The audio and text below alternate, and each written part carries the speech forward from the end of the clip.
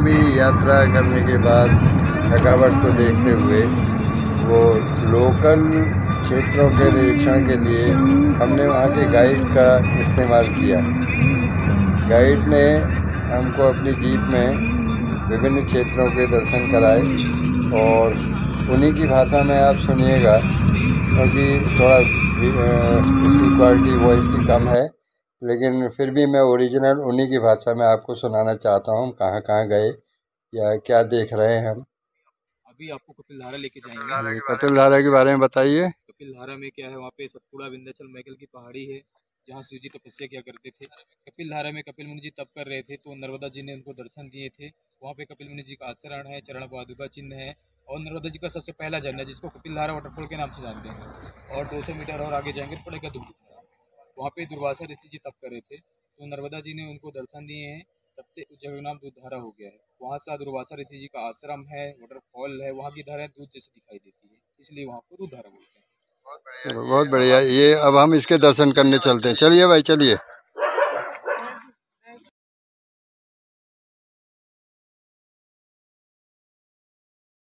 जब तक गाइड हमको इस एडवेंचर और इस पवित्र स्थान का निरीक्षण कराते हैं, दर्शन कराते हैं, तब तक थोड़ा सा मैं आपको जानकारी दे दूँ। अमरकंटक भारत के मध्य प्रदेश राज्य के अनूपपुर ज़िले में स्थित एक नगर है। यह विंध्य पर्वतमाला व सतपुड़ा पर्वतमाला के मिलन क्षेत्र पर मैकल पर्वतमाला में स्थित है। यहाँ से नर्मदा नदी, सोन नदी और जोहिला नदी का उद्गम होता है।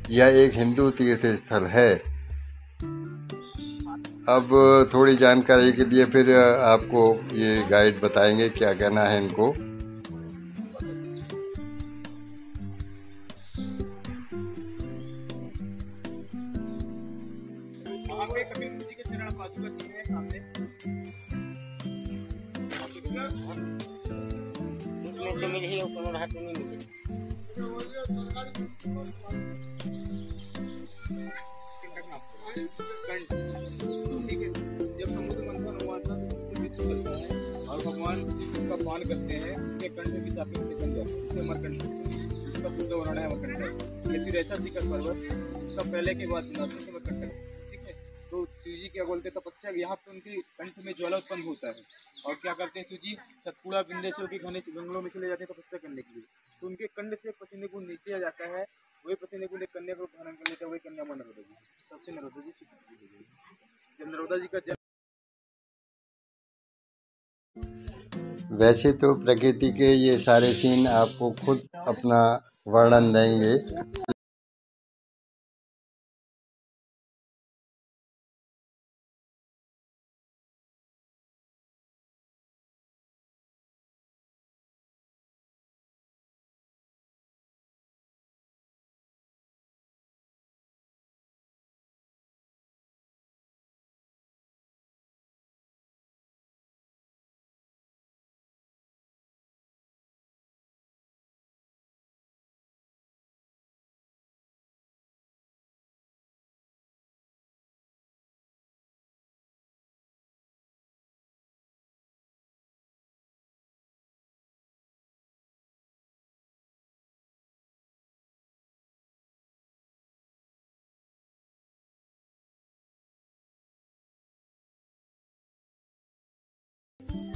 और कपिलधारा क्षेत्र अमरकंटक का ये एक झरना है।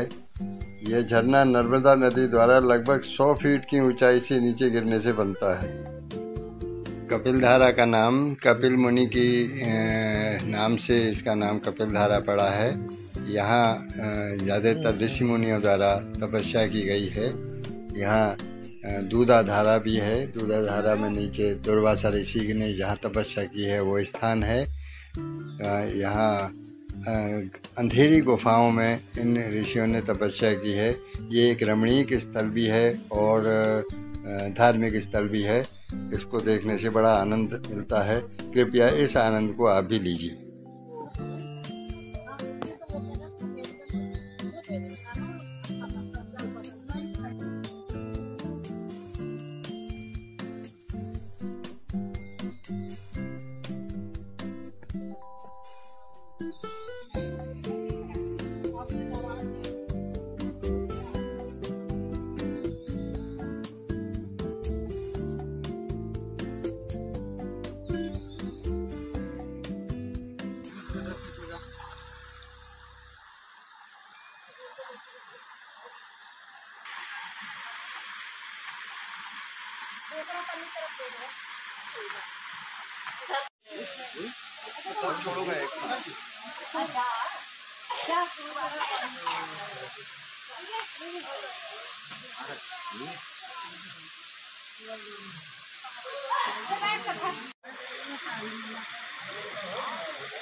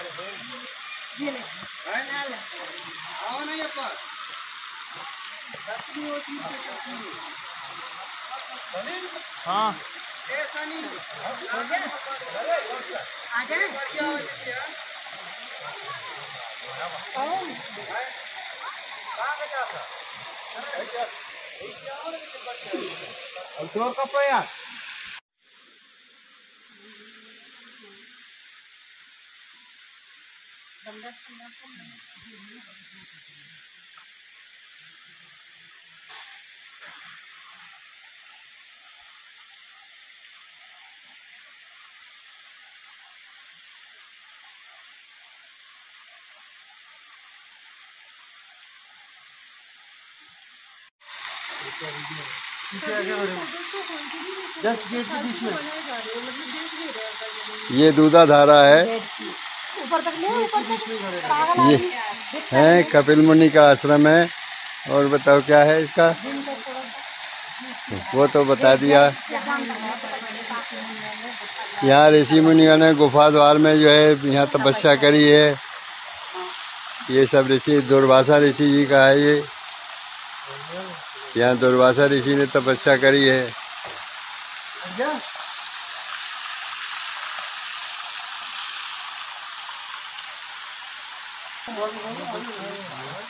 ये महर्षि दुर्वासा के तपस्थली अनेक दिव्य दृष्टि प्राप्त संत महात्मा इस स्थान का साधना।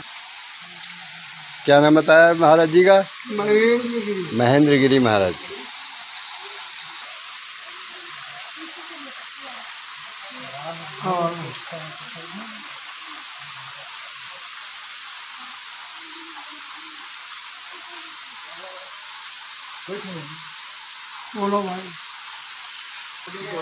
नर्मदे यार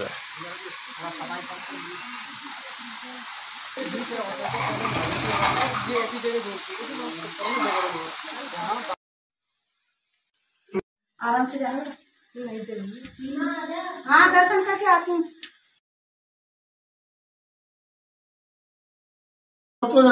हमारी जली नारी पता नहीं क्या हो गया है? हे नर्मदे हर। मेरी वाली का बंद कर लो कैसे खींचूँगा?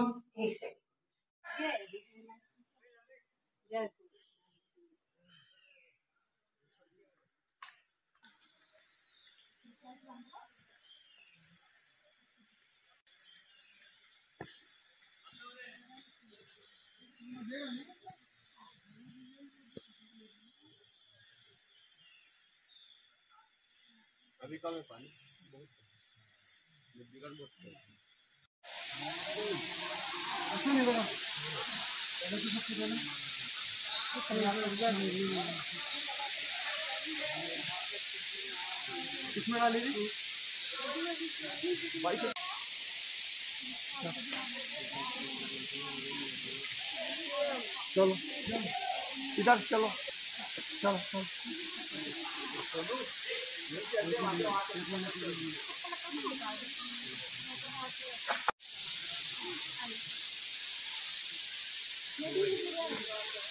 चप्पल उतार चप्पल उतार हाँ? चप्पल उतार चप्पल मैं भी ले लूँगा बढ़िया चप्पल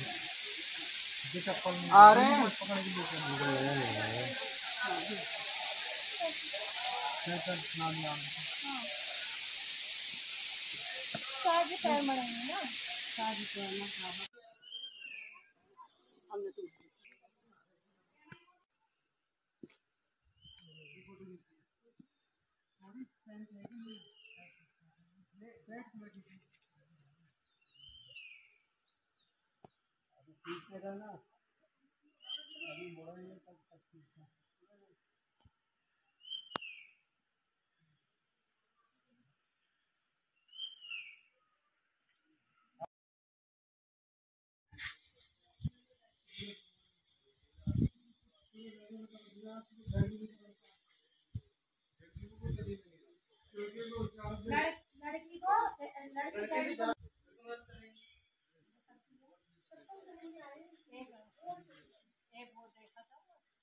क्या दूसरा ही क्या दिक्कत देखो आगे करो तो कर रहा है